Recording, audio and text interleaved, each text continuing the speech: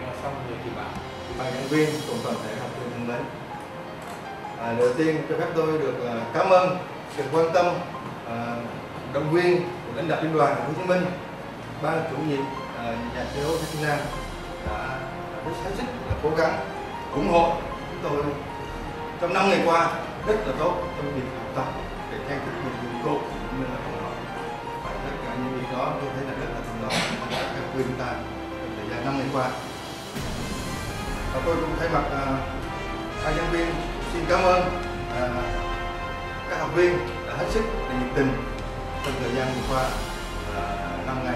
Cùng với chúng tôi có một cái sự học tập về người hết sức là chăm chỉ đạt được kết quả hôm nay.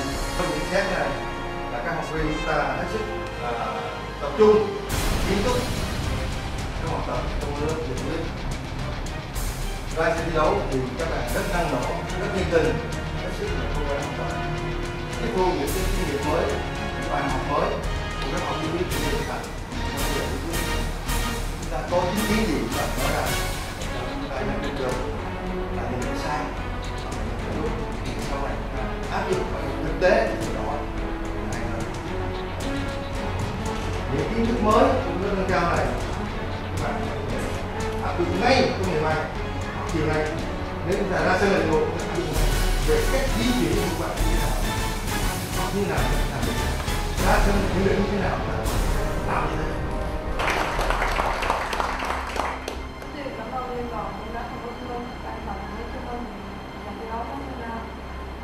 Có những gì thì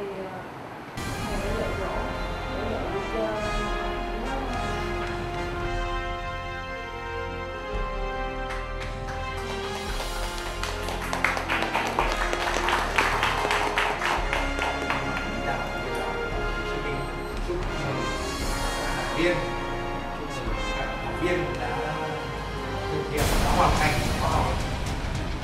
Không chỉ với tư cách là lãnh đạo và cũng đã được chứng Minh với tư cách là giảng viên của AFC giảng viên tại môn cũng rất là gần gũi.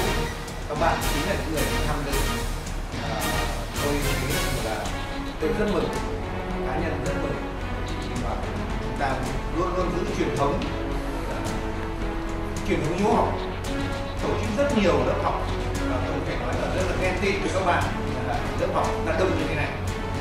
Trình độ của các bạn, năng lực của các bạn, tư cách của các bạn rất là lớn cho cuộc chúng ta rất vất vả trong năm ngày vừa qua tôi chứng kiến tất cả những việc này.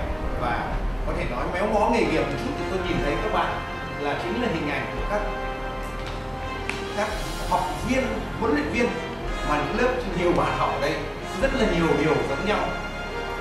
Tiếp theo lời thầy tài, nếu cho tôi, cho phép tôi được bổ sung một số ý kiến mang tính chất chuyên môn thì có thể nói là tôi chỉ mong các bạn tự tin hơn. Tất cả những trận đấu mà các bạn điều hành, tôi được chứng kiến thì đều cần nhìn thấy hết. Tiếp theo là lời dẫn của thầy tài các bạn cần thực hành rất là nhiều để chúng ta nhận định lỗi thôi, nhận định lỗi. Thì à, nói về à, cái à, khóa học này thì mình rất cảm thấy rất là bổ ích à, tuy là diễn ra khá, thời gian khá là ngắn chỉ trong vòng 5 ngày nhưng mà nó mang lại những cái kiến thức rất là chuyên sâu. Và đặc biệt thì uh, trong khóa học này mình đánh giá là có những cái giảng viên đang uh, là những trọng tài hàng đầu của Việt Nam và thậm chí là có cả trọng tài World Cup. Uh, hướng dẫn nên mình thấy là những cái kiến thức rất là mới cập nhật từ FIFA. Và qua cái khóa học này thì uh, mình cảm thấy là sẽ có nhiều cái tài năng sẽ là sau này nối tiếp cái đàn anh uh, để uh, thực hiện cái công tác trọng tài của quốc gia.